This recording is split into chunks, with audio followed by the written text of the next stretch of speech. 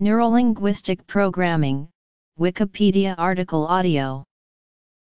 Neurolinguistic programming is an approach to communication, personal development, and psychotherapy created by Richard Bandler and John Grinder in California, United States in the 1970s.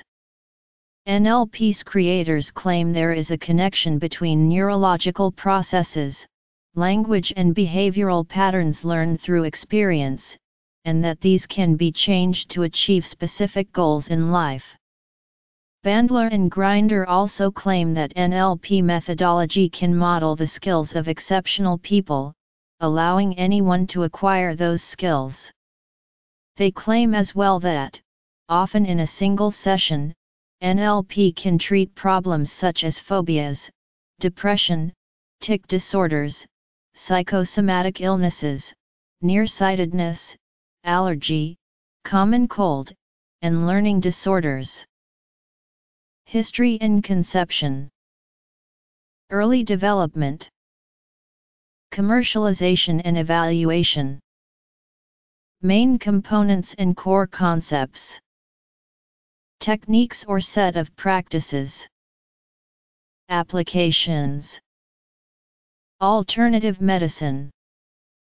Psychotherapeutic. Other uses. Scientific criticism. As a quasi-religion. Intellectual property disputes. Associations, certification, and practitioner standards. Notes and references. Bibliography NLP has since been discredited scientifically, but continues to be marketed by some hypnotherapists and by some companies that organize seminars and workshops on management training for businesses. There is no scientific evidence supporting the claims made by NLP advocates and it has been discredited as a pseudoscience by experts.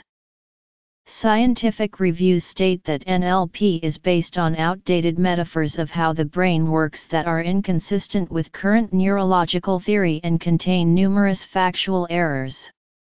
Reviews also found that all of the supportive research on NLP contained significant methodological flaws and that there were three times as many studies of a much higher quality that failed to reproduce the extraordinary claims made by Bandler, Grinder, and other NLP practitioners. Even so, NLP has been adopted by some hypnotherapists and also by companies that run seminars marketed as leadership training to businesses and government agencies. According to Bandler and Grinder, NLP comprises a methodology termed modeling, plus a set of techniques that they derived from its initial applications. Of such methods that are considered fundamental, they derived many from the work of Virginia Satir, Milton Erickson and Fritz Perls. Bandler and Grinder also drew upon the theories of Gregory Bateson, Alfred Korzybski, and Noam Chomsky, as well as ideas and techniques from Carlos Castaneda. Bandler and Grinder claim that their methodology can codify the structure inherent to the therapeutic magic as performed in therapy by Perls, Satir, and Erickson, and indeed inherent to any complex human activity, and then from that codification, the structure and its activity can be learned by others. Their 1975 book, The Structure of Magic I, a book about language and therapy, is intended to be a codification of the therapeutic techniques of Perls and Satir.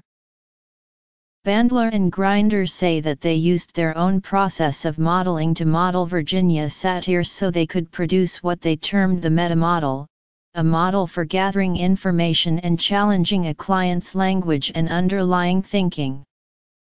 They claim that by challenging linguistic distortions, specifying generalizations, and recovering deleted information in the client's statements, the transformational grammar concepts of surface structure yield a more complete representation of the underlying deep structure and therefore have therapeutic benefit. also derived from Satir were anchoring, future pacing, and representational systems. In contrast, the Milton model a model of the purportedly hypnotic language of Milton Erickson was described by Bandler and Grinder as artfully vague and metaphoric. The Milton model is used in combination with the metamodel as a softener, to induce trance and to deliver indirect therapeutic suggestion. However, adjunct lecturer in linguistics, Karen Stollznow describes Bandler's and Grinder's reference to such experts as name-dropping. Other than Satir, the people they cite as influences did not collaborate with Bandler or Grinder. Chomsky himself has no association with NLP whatsoever, his original work was intended as theory, not therapy. Stollznow writes, other than borrowing terminology, NLP does not bear authentic resemblance to any of Chomsky's theories or philosophies linguistic, cognitive, or political. According to André Müller-Weitzenhoffer, a researcher in the field of hypnosis, the major weakness of Bandler and Grinder's linguistic analysis is that so much of it is built upon untested hypotheses and is supported by totally inadequate data.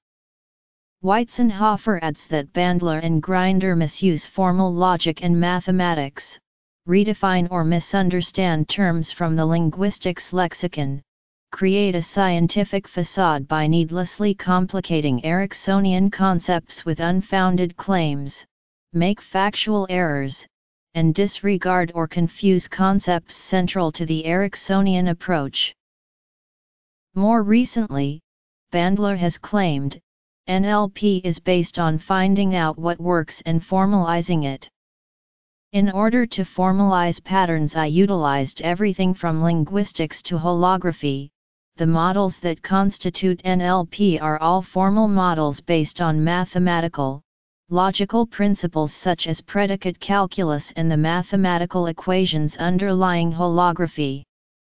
However, there is no mention of the mathematics of holography nor of holography in general in McClendon's, Spitzer's, or Grinder's account of the development of NLP.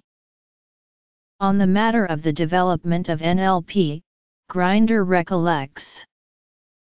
My memories about what we thought at the time of discovery are that we were quite explicit that we were out to overthrow a paradigm and that, for example, I, for one, found it very useful to plan this campaign using in part as a guide the excellent work of Thomas Kuhn in which he detailed some of the conditions which historically have obtained in the midst of paradigm shifts. For example, I believe it was very useful that neither one of us were qualified in the field we first went after psychology and in particular, its therapeutic application, this being one of the conditions which Kuhn identified in his historical study of paradigm shifts.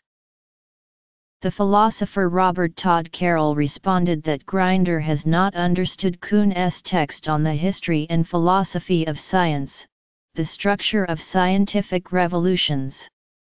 Carroll replies, Individual scientists never have nor are they ever able to create paradigm shifts volitionally and Kuhn does not suggest otherwise, Kuhn's text does not contain the idea that being unqualified in a field of science is a prerequisite to producing a result that necessitates a paradigm shift in that field and the structure of scientific revolutions is foremost a work of history and not an instructive text on creating paradigm shifts and such a text is not possible extraordinary. Discovery is not a formulaic procedure.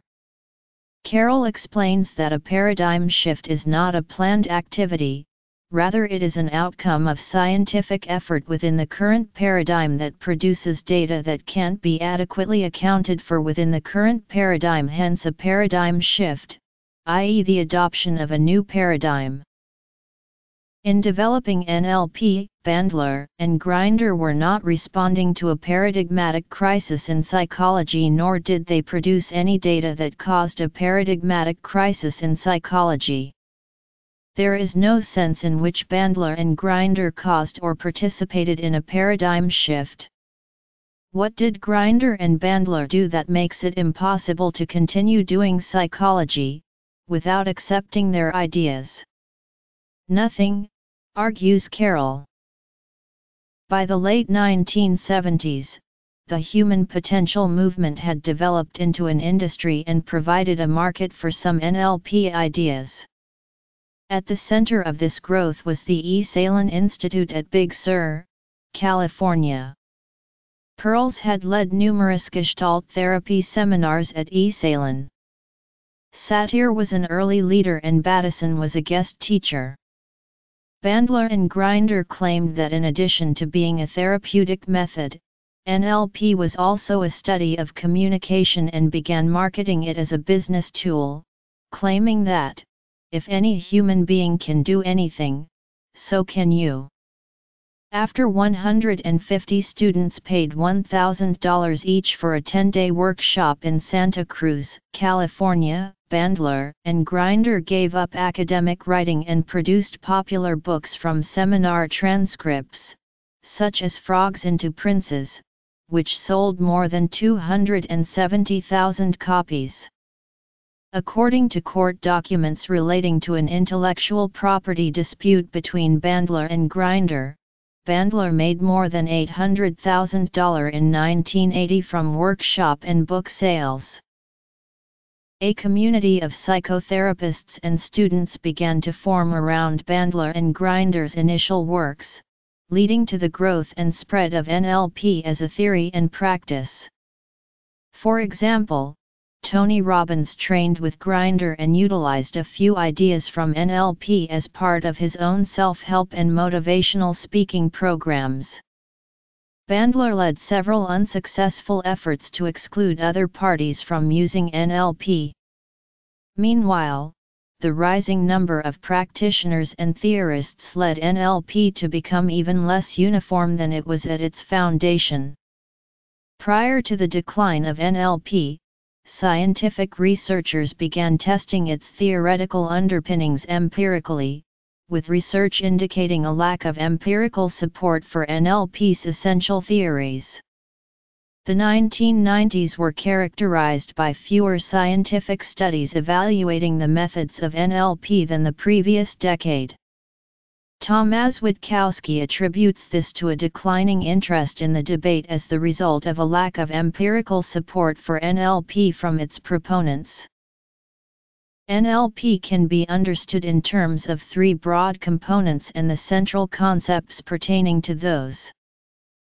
According to one study by Steinbach, a classic interaction in NLP can be understood in terms of several major stages including establishing rapport, gleaning information about a problem mental state and desired goals, using specific tools and techniques to make interventions, and integrating proposed changes into the client's life.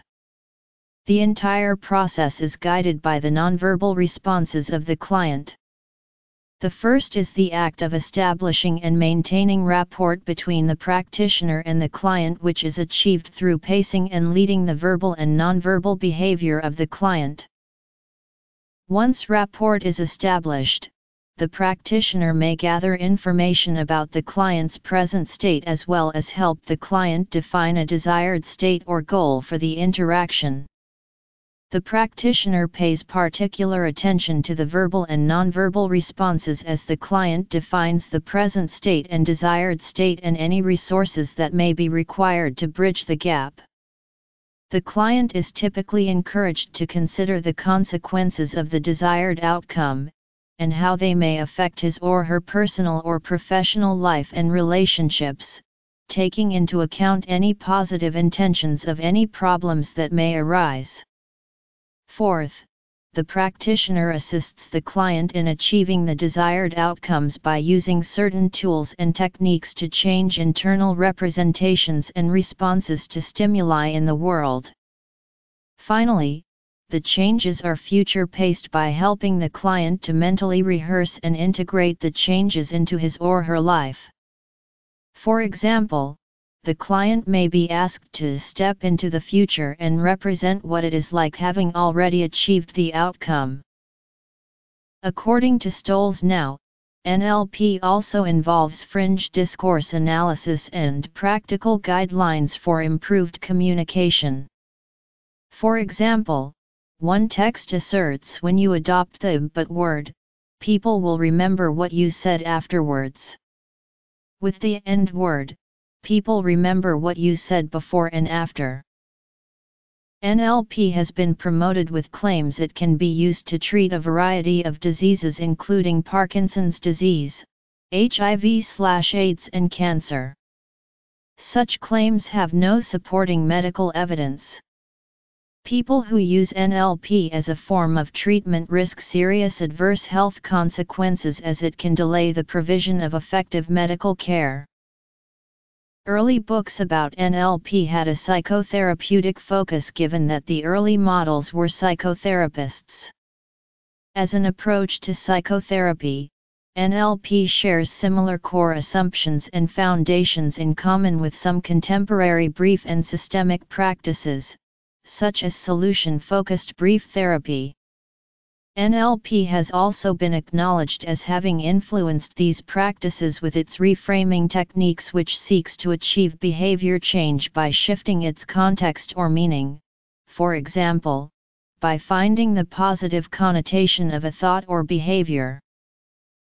The two main therapeutic uses of NLP are, as an adjunct by therapists practicing in other therapeutic disciplines, as a specific therapy called neurolinguistic psychotherapy which is recognized by the United Kingdom Council for Psychotherapy with accreditation governed at first by the Association for Neurolinguistic Programming and more recently by its daughter organization the Neurolinguistic Psychotherapy and Counseling Association. Neither neurolinguistic programming nor neurolinguistic psychotherapy are NICE approved.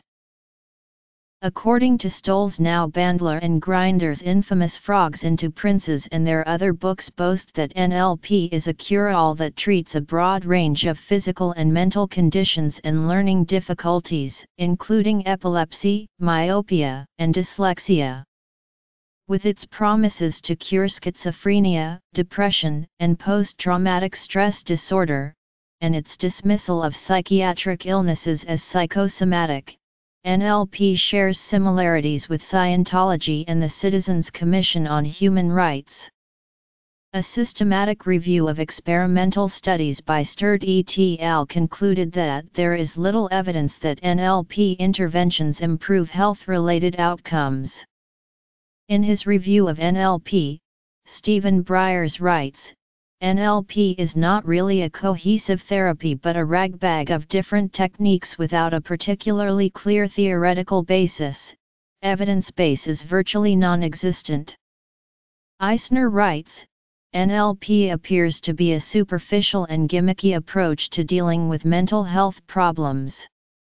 Unfortunately, NLP appears to be the first in a long line of mass marketing seminars that purport to virtually cure any mental disorder. It appears that NLP has no empirical or scientific support as to the underlying tenets of its theory or clinical effectiveness. What remains is a mass marketed serving of psychopablum. Andre Muller Weitzenhoffer, a friend and peer of Milton Erickson, wrote has NLP really abstracted and explicated the essence of successful therapy and provided everyone with the means to be another Whitaker, Virginia Satir, or Erickson? Failure to do this is evident because today there is no multitude of their equals, not even another Whitaker, Virginia Satir, or Erickson. Ten years should have been sufficient time for this to happen. In this light, I cannot take NLP seriously. Contributions to our understanding and use of Ericksonian techniques are equally dubious.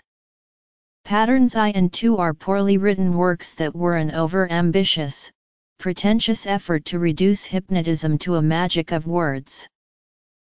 Clinical psychologist Stephen Briers questions the value of the NLP maxim a presupposition in NLP jargon there is no failure, only feedback. Briers argues that the denial of the existence of failure diminishes its instructive value. He offers Walt Disney, Isaac Newton, and J.K. Rowling as three examples of unambiguous acknowledged personal failure that served as an impetus to great success. According to Briers, it was the crash and burn type of failure, not the sanitized NLP failure light, i.e. the failure that ISNT really failure sort of failure that propelled these individuals to success. Briers contends that adherence to the maxim leads to self-deprecation.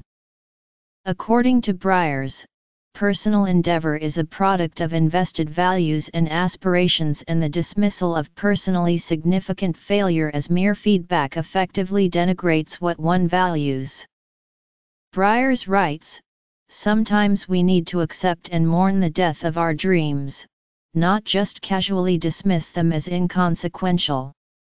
NLP's reframe casts us into the role of a widower avoiding the pain of grief by leapfrogging into a rebound relationship with a younger woman, never pausing to say a proper goodbye to his dead wife. Briers also contends that the NLP maxim is narcissistic, self-centered, and divorced from notions of moral responsibility. Although the original core techniques of NLP were therapeutic in orientation their generic nature enabled them to be applied to other fields.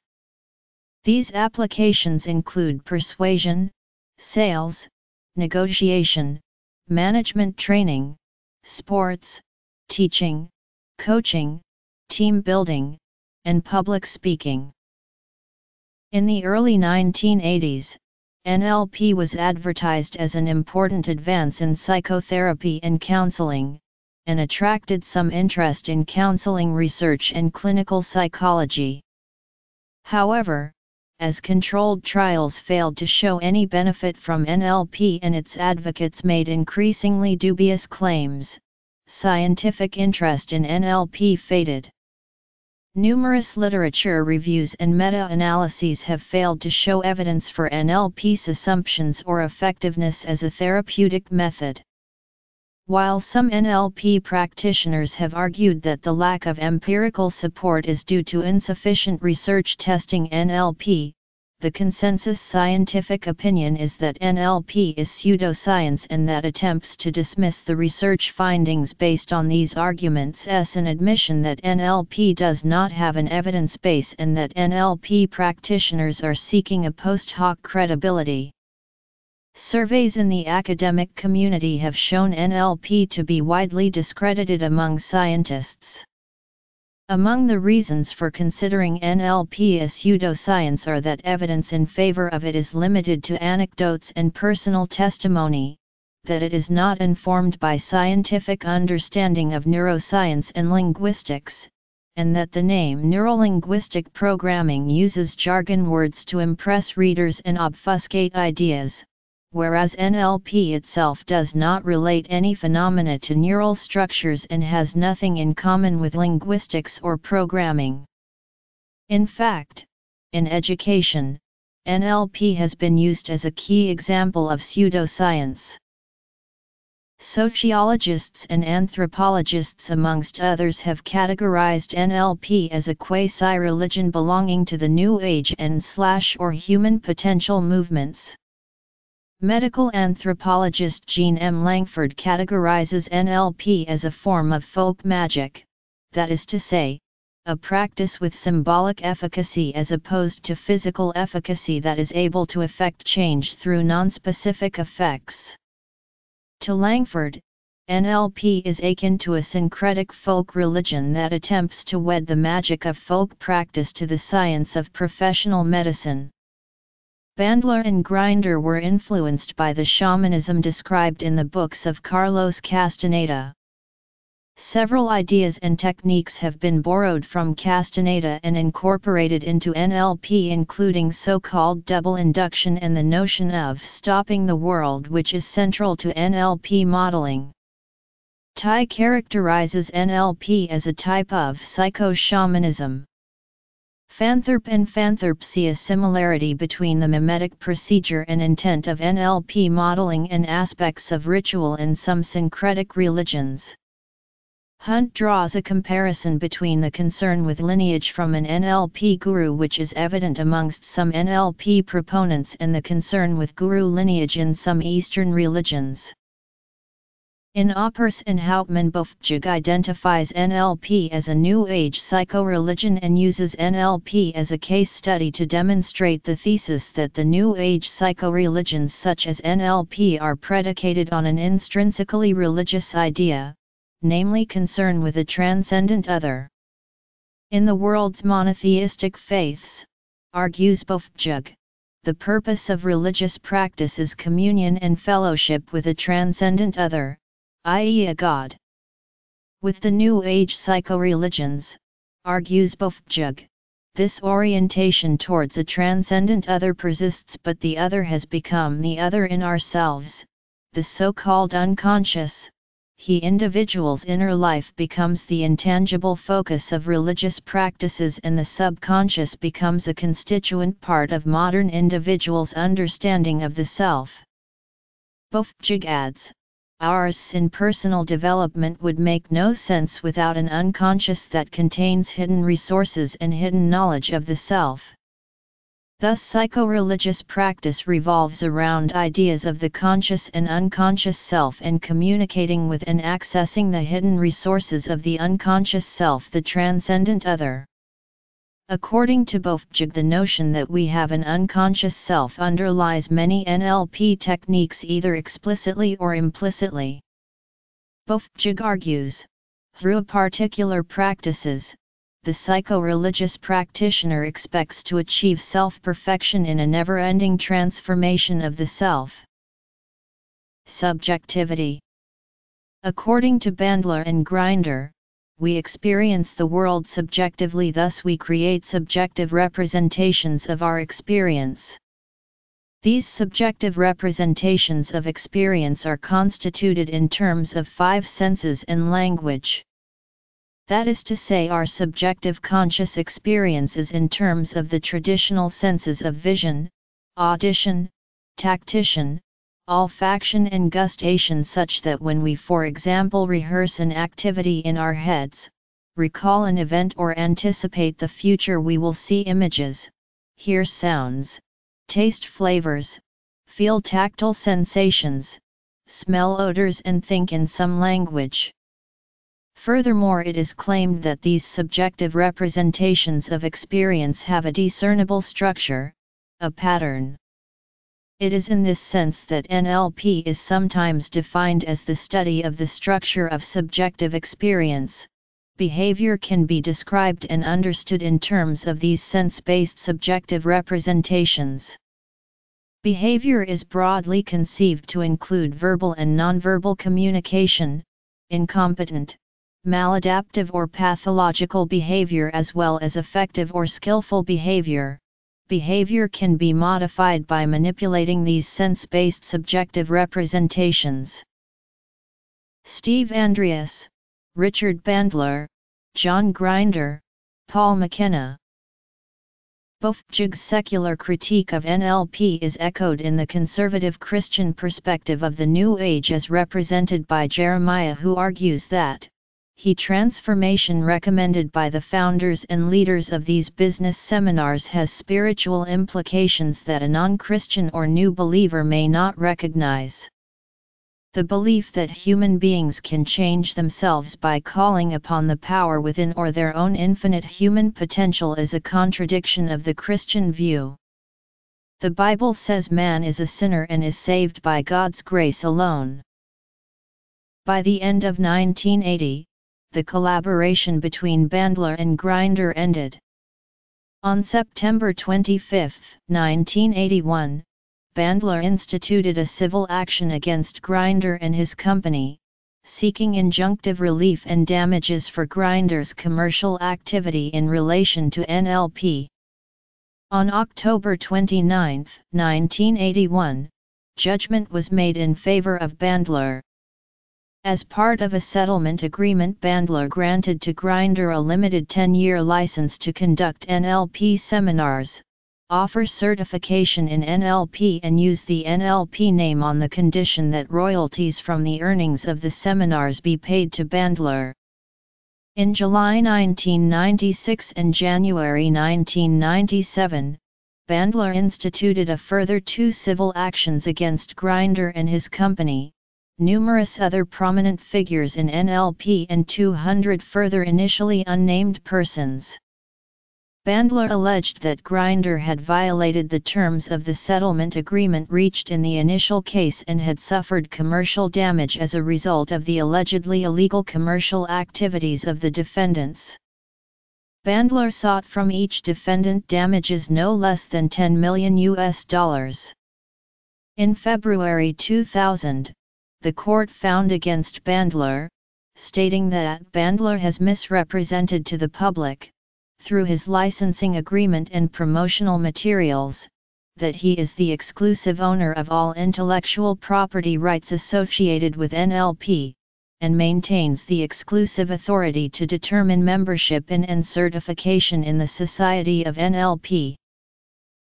On this matter Stollznow comments, Ronnie Callie, Bandler and Grinder feuded in the 1980s over trademark and theory disputes. Tellingly, none of their myriad of NLP models, pillars, and principles helped these founders to resolve their personal and professional conflicts. In December 1997, Tony Clarkson instituted civil proceedings against Bandler to have Bandler's UK trademark of NLP revoked. The court found in favor of Clarkson, Bandler's trademark was subsequently revoked. By the end of 2000, Bandler and Grinder entered a release where they agreed, amongst other things, that they are the CO creators and co-founders of the technology of neurolinguistic programming and mutually agree to refrain from disparaging each other's efforts, in any fashion, concerning their respective involvement in the field of neurolinguistic programming. As a consequence of these disputes and settlements, the names NLP and neurolinguistic programming are not owned by any party and there is no restriction on any party offering NLP certification. The names NLP and neurolinguistic programming are not owned by any person or organization, they are not trademarked intellectual property and there is no central regulating authority for NLP instruction and certification. There is no restriction on who can describe themselves as an NLP master practitioner or NLP master trainer and there are a multitude of certifying associations. This has led Devilly to describe such training and certifying associations as granfalloons i.e. proud and meaningless associations of human beings. There is great variation in the depth and breadth of training and standards of practitioners, and some disagreement between those in the field about which patterns are, or are not, actual NLP. NLP is an open field of training with no official best practice with different authors, individual trainers, and practitioners having developed their own methods, concepts and labels, often branding them as NLP, the training standards and quality differ greatly. In 2009, a British television presenter was able to register his pet cat as a member of the British Board of Neurolinguistic Programming, which subsequently claimed that it existed only to provide benefits to its members and not to certify credentials. Notable practitioners